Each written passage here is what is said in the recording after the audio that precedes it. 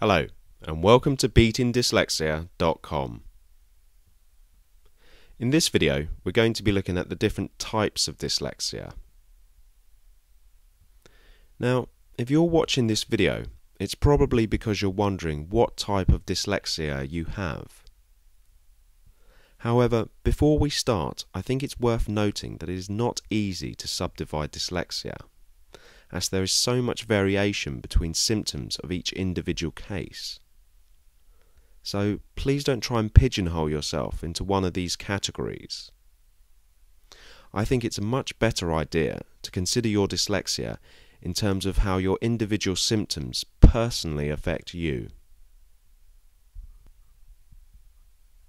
Okay, let's jump straight in then. Now, the balance theory suggests that there are three types of dyslexia. Number one, perceptual or P type. These dyslexic people read quite slowly, a sort of sound by sound type of reading. This group seems to be stuck in the early stages of reading development, unable to gain speed or fluency. The name perceptual is due to the full processing of the perceptual characteristics of each word when reading. Number two, linguistic or L type. These dyslexic people try to read quickly but make many mistakes.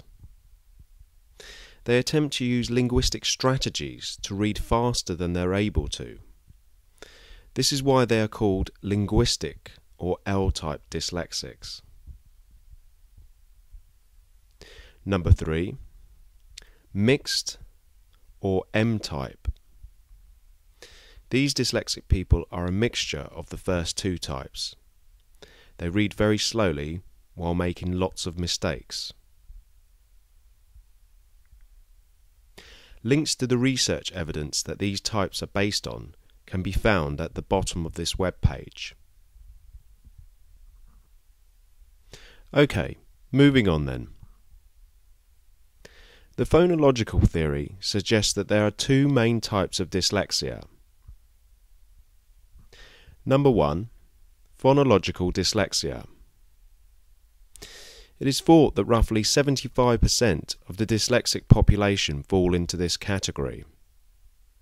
The theory suggests that people with phonological dyslexia have a difficulty dividing and blending the smallest units of speech sound, the phonemes. Number two, surface dyslexia. Now, this is not a phonological problem. It's a difficulty applying the syntax or the rules of language. For example, person with surface dyslexia may pronounce the word castle cast le. Again, the links to the research evidence for these subtypes can be found at the bottom of this web page.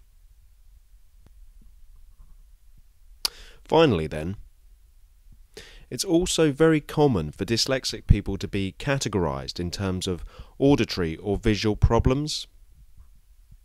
For example, a dyslexic person may have no trouble spelling, but have terrible tracking problems when reading. And vice versa, another dyslexic person may have no visual problems, but be a terrible speller.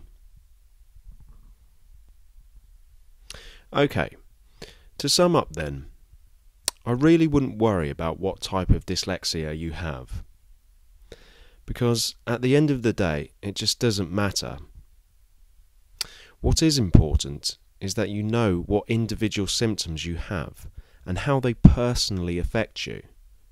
Because at the end of the day, having a clear understanding of how your dyslexia affects you is the first step towards beating it.